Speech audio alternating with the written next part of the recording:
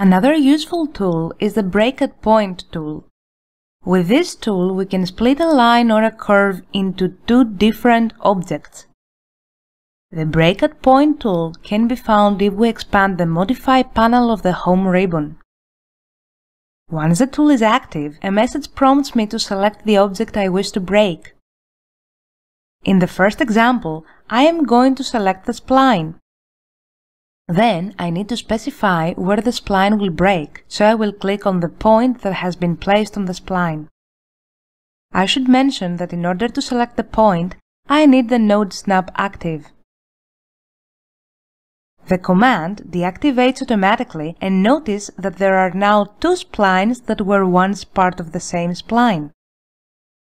At this point, I will move on to show you another example of how this command can be used. As you can see, this is the top view of a staircase. Usually, in the floor plans, the part of the stair which is below the section of the floor we are drawing is represented by continuous lines indicating that it is visible in the floor plan. On the other hand, the part of the stair that is above the section and is not visible in the floor plan is drawn with dashed lines. Those two parts of the stair are distinguished by a diagonal and as you can see, each step is indicated by a straight line. Back to the example, let's say I want to change the continuous lines that represent the part of the stair that is not visible in this floor plan into dashed lines.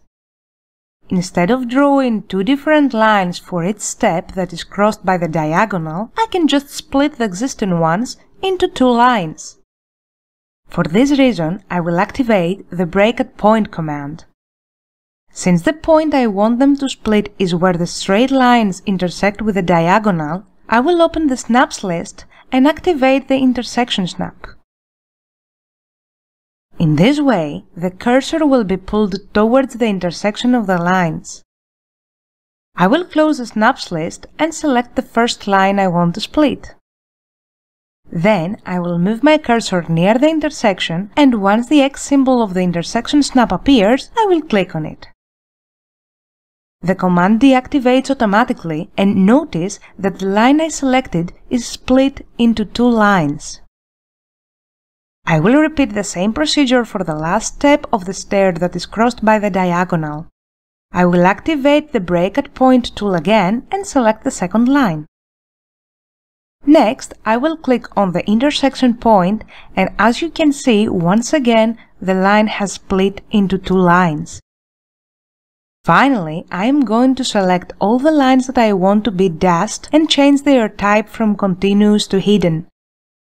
We're going to learn how to change the line type in more detail in the following lessons.